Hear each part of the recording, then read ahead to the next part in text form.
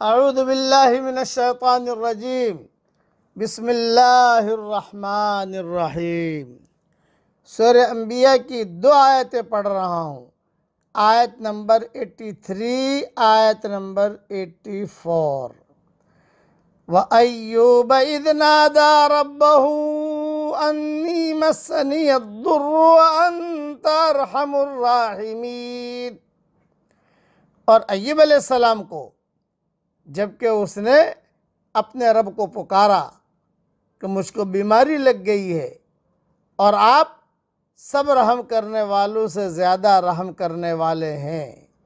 फस्त जबना लहू फ़कशफना मा भी मिन दुर्रियों व आतैनाहु अहलहु व आतैनाहु अहलहु व मिथलहुम माहुम रहमतम मिन इंदिना व ज़िक्रा लिल आबिदीन। तो हमने उसकी दुआ कबूल की और उसको जो तकलीफ़ थी उसको दूर कर दिया और हमने उसको उसका कुंबा अता किया और उसी के साथ उसके बराबर और भी अपनी तरफ़ से रहमत और नसीहत इबादत करने वालों के लिए। हज़रत अलैहिस्सलाम का तस्करा कुरान शरीफ में अलग अलग सूरतों में आया है। और हज़रत अय्यूब अलैहिस्सलाम इनके वालदा मोहतरमा लूत अलैहिस्सलाम के साहबजादी हैं। और बाज़ किताबों में लिखा है कि ये हज़रत यूसुफ अलैहिस्सलाम के दामाद भी हैं। पैगंबरों के ज़रिए खुदा ताला हर कस्म की आला तरीन मिसाल कायम करता है, ताकि वो लोगों के लिए नमूना हो। उनमें से एक मिसाल हज़रत अय्यूब अलैहिस्सलाम की है। हज़रत अय्यूब अलैहिस्सलाम गालिबा नबी सदी कबल मसीह के इसराइली पैगंबर थे। बाइबल के बयान के मुताबिक इब्तदान वो बहुत दौलतमंद थे। खेती, मवेशी, मकानात, आल, औलाद, हर चीज़ की इतनी कसरत थी कि कहा जाने लगा कि अहल मशरक़ में कोई इतना बड़ा आदमी नहीं। उसके बावजूद हज़रत अय्यूब अलैहिस्सलाम बेहद शुक्रगुजार और वफ़ादार बंदे थे। उनकी ज़िंदगी इस बात का नमूना बन गई कि इज़्ज़त और दौलत पाने के बावजूद किस तरह एक आदमी मुतवाज़ बंदा बना रहता है। मगर शैतान ने इस वाक़े को लोगों के जहनों में उलट दिया और उसने लोगों को सिखाया कि अय्यूब की गैर मामूली इज़्ज़त इसलिए है कि उनको गैर मामूली नेमतें हासिल हैं। अगर ये नेमतें उनके पास न रहें तो उनकी सारी शुक्रगुजारी ख़त्म हो जाएगी। लंबी लंबी रिवायत, इसराइली रिवायत है। ये रियाज तफसीर में देख लेना। तकरीबन दो सफ़ी की है वो, कि शैतान ने किस तरीके से उन्हें बहकाया। खुलास कलाम ये कि उसके बाद खुदा ताला ने आपके ज़रिए से दूसरे दूसरी मिसाल कायम की। हज़रत अलैहिस्सलाम के मवेशी मर गए, खेतियाँ बर्बाद हो गईं। औलाद ख़त्म हो गई। हती कि जिसम भी बीमारी की नज़र हो गया। दोस्तों और रिश्तेदारों ने साथ छोड़ दिया। सिर्फ़ एक बीवी आपके साथ बाकी रह गई। मगर हज़रत खुदा के फ़ैसले पर राज़ी रहे। उन्होंने कामिल सब्र का मुजाहरा किया। बाइबल के अल्फाज ये हैं, तर्जुमा सुन लीजिए।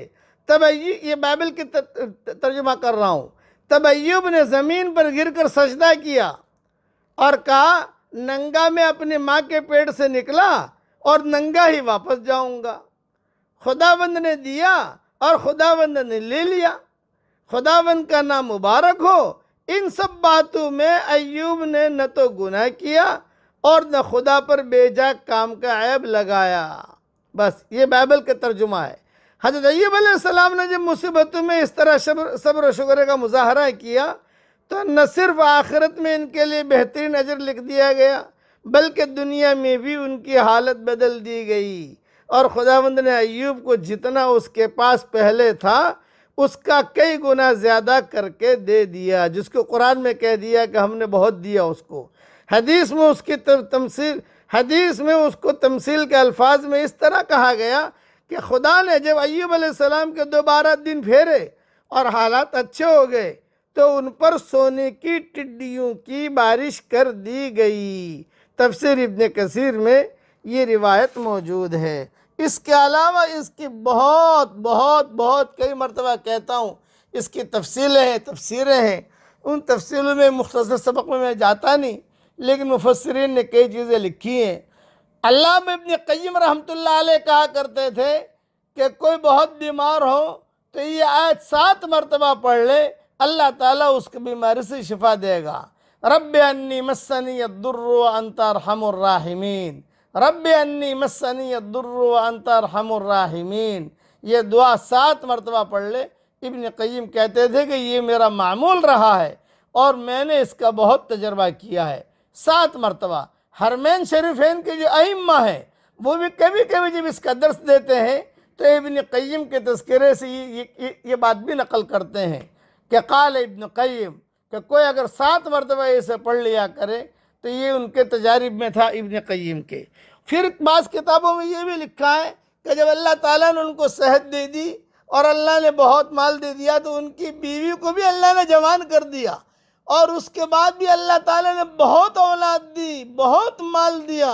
फिर उनका इंतकाल भी अजीब अजीब तरीके पर हुआ और उनकी तदफीन भी अजीब तरीके पर हुई, जिसकी तफसीर इन रियाज तफसीर में देख लेना।